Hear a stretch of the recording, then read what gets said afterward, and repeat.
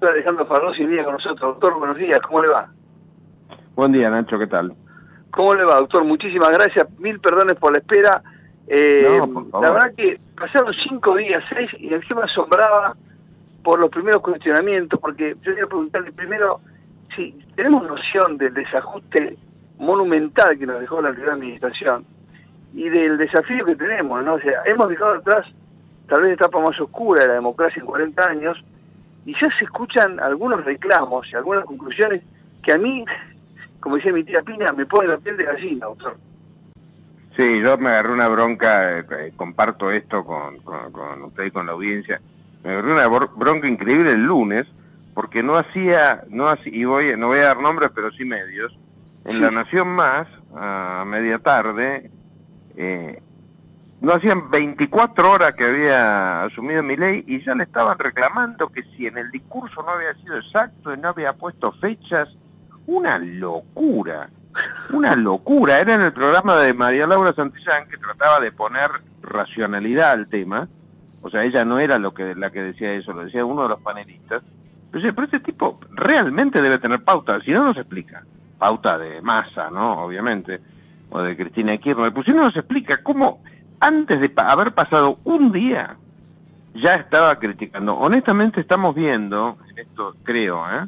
estamos viendo, así como, como en, nuestra profesión de abogado vemos que hay personajes nefastos, este, estamos percibiendo en algunos medios cosas muy raras. ¿eh? Y encima mi ley le saca la pauta con lo cual lo quieren matar, ¿no? Pero Claro, y por ejemplo, lo que usted conoce muy bien, en pocas horas, ¿qué conocimos? Que se pararon como 75 eh, propuestas de jueces que iban, iban a iban a recomptar el Poder Judicial. O sea, donde tocas hay pus, como dicen los médicos, ¿no? Donde tocas hay infección. Entonces, ¿qué, ¿qué están reclamando? Pero en todo. Eh, eh, Nacho, eh, eh, hay una cosa que es interesante. Eh, comparto una, a mí me gusta mucho el arte, ¿sí? Y entonces en la época en que era, era un activo profesor universitario en la UBA, hacía colectas más o menos obligatorias entre mis alumnos de posgrado para restaurar para restaurar cuadros en la Facultad de Derecho. Y me acuerdo que cuando, cuando restauramos el retrato de Antonio Sáenz, que está en la sala de profesor de la Facultad de Derecho, el presupuesto de mi restauradora era la mitad que el que había pedido la facultad. Porque claro, en el de la facultad supongo que estaba incluido, estaba incluido una cometa para alguno. Ah, y eso lo pedía la UBA, no lo pedía cualquier facultad. Que tiene un poder terrible, ¿no? La UBA, la UBA es una cueva. Pero hay dos UBAs. O sea, está la UBA de los profesores, que ganan tres mangos con 50 y dejan el lomo ahí eh, y está la UBA de la parte administrativa, mejor no la... Claro, de los gremios estatales, que ya estamos viendo la ferocidad. Bueno, volvió a la CGT, teníamos CGT finalmente, ¿no? Había CGT, sí.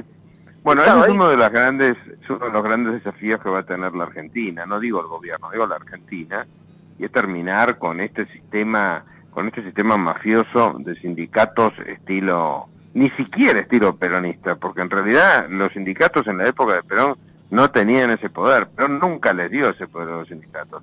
Acá el gran responsable del desastre es Onganía, que si bien era un hombre honesto en términos económicos, era muy rústico en términos intelectuales y le terminó entregando las obras sociales a los sindicatos, con lo cual les dio todo el poder, ¿no? Es una locura. El sistema, para, para, para que quede claro, el sistema de obras sociales sindicales en la Argentina es único en el mundo, pero para lo malo, no para lo bueno.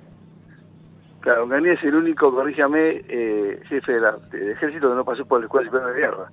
No sé si no entró. Exacto, exacto. tan bruto como eso. Exactamente. Era un hombre muy honesto, porque tengo mil anécdotas de su honestidad personal, pero pobre, eh, tenía pocas luces.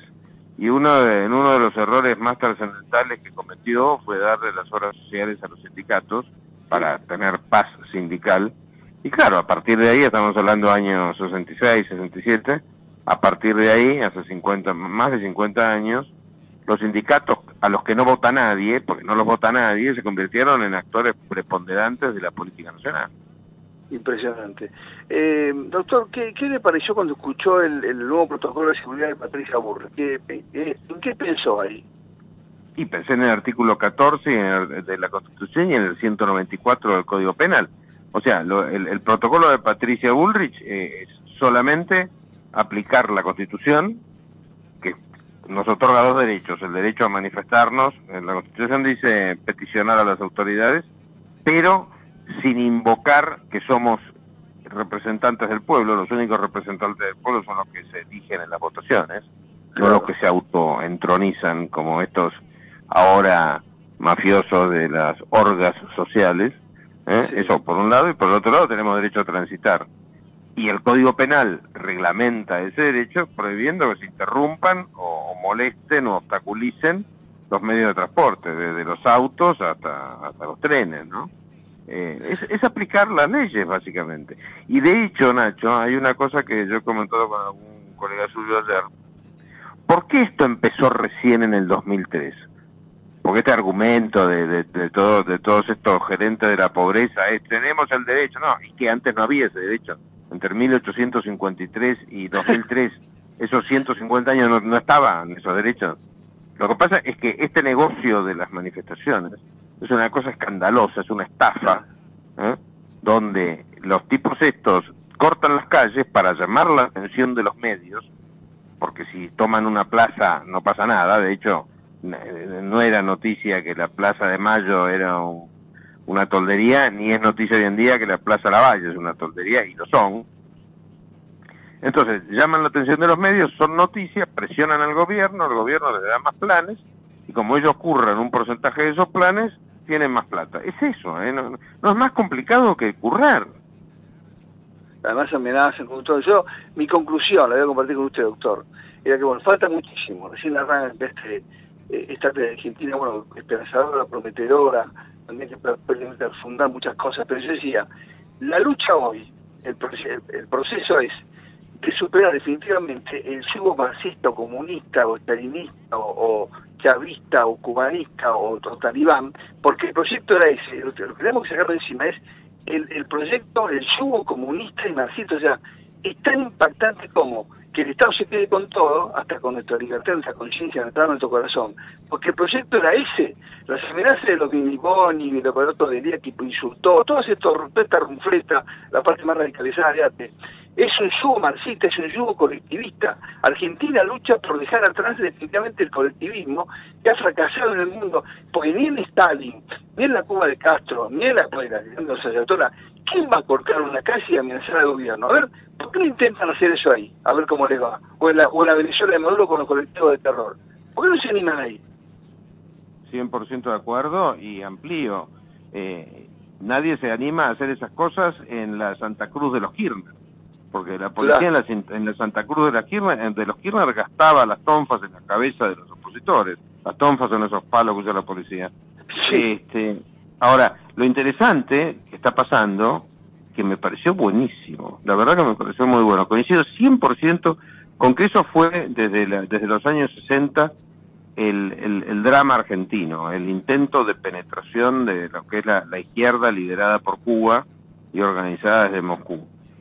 Eh, pero es muy interesante lo que pasó ayer, que el, radicalismo se sinceró y eligió a, un, a una Dalid de izquierda, como es y, y bueno, y, por fin vamos a tener un, radicalismo más sincero. El radicalismo es de izquierda de, la época de Alfonsín. El tema es que es muy importante que la gente lo sepa. Yo no digo ni que esté bien ni que esté mal, ya para mí es una locura, pero bueno, esa es mi opinión, que eh, es una opinión individual pero es muy bueno que empecemos a sincerarnos. El radicalismo está presidido por un ex ministro de Cristina Kirchner. Punto. Sí, el padre que, impulsó el, el de justicia para, para, que el año sea mayor a 125. Entonces, yo no, yo impulsé eso porque era peor que proponían otros, pero él impulsó la, la defendió la 125.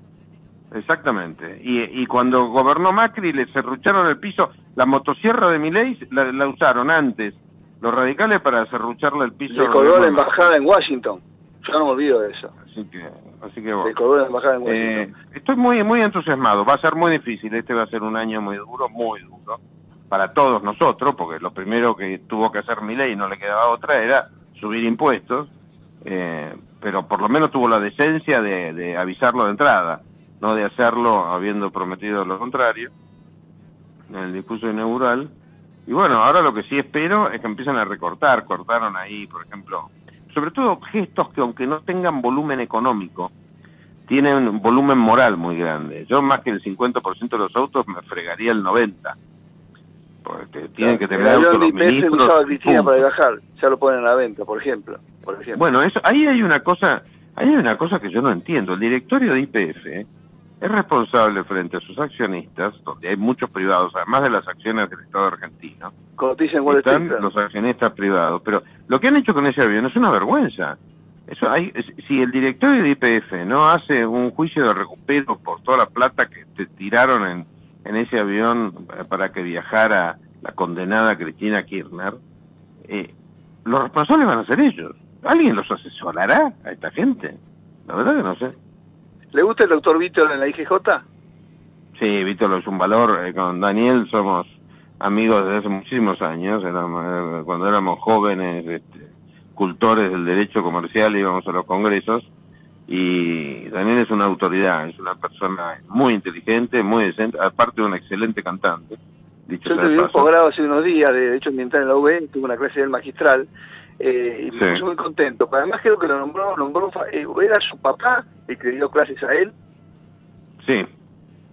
sí lo nombró con un cariño, lo nombró con un cariño, con un respeto terrible. Y Vivito anda sí, sí, por ahí.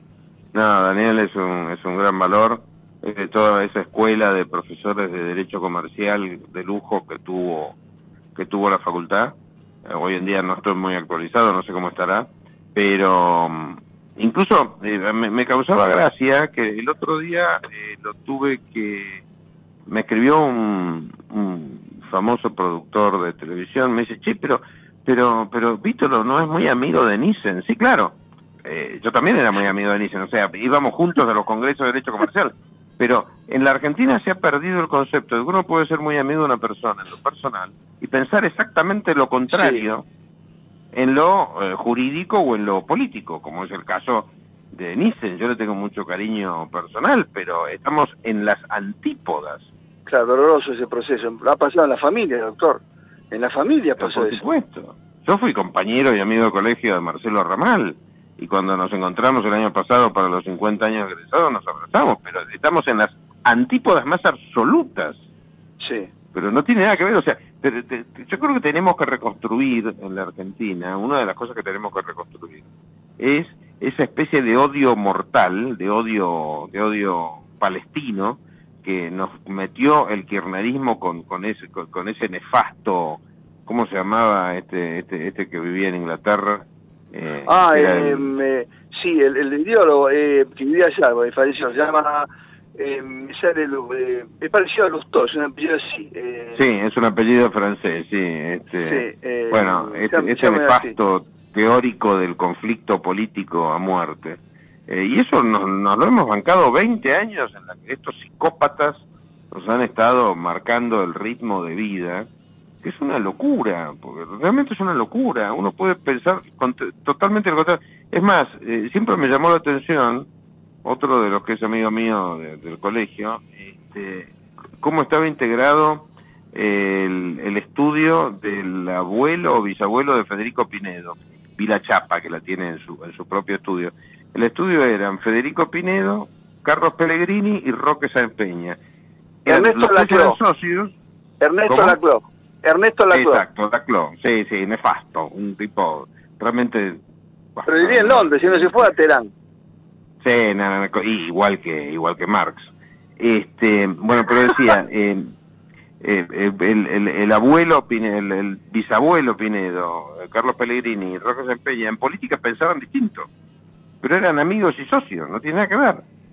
Realmente no tiene nada que ver, pero bueno. Doctor, yo no voy a de llamarlo. Va a ser un verano muy caliente, yo voy a estar ahí y lo voy a llamar siempre. Lo dejo las Pero va a ser un, pero va a ser un placer, Nacho y el aguante, además, doctor, el aguante, porque no tiene necesidad, sin embargo, tiene pone el cuerpo todo el tiempo. Nos mando un abrazo y hablamos antes de la Navidad. Sí, señor, gracias por el llamado y un abrazo. Gracias. El doctor Alejandro Fargosi, ex integrante del Consejo de la Magistratura, uno de los abogados más importantes de Argentina. Una escuela tremenda y un compromiso republicano. No tiene necesidad de hacerse la mala que se ha hecho. Pero eso ha sido un puntal de la resistencia contra el régimen. Es decir, hemos despedido un régimen nefasto en la Argentina. Nos va a costar mucho, pero, pero estamos, estamos diciéndonos un régimen nefasto. Tan, tan nefasto como lo escuchaban al final. Ha separado amigos y familias. Como nunca ha dicho nadie.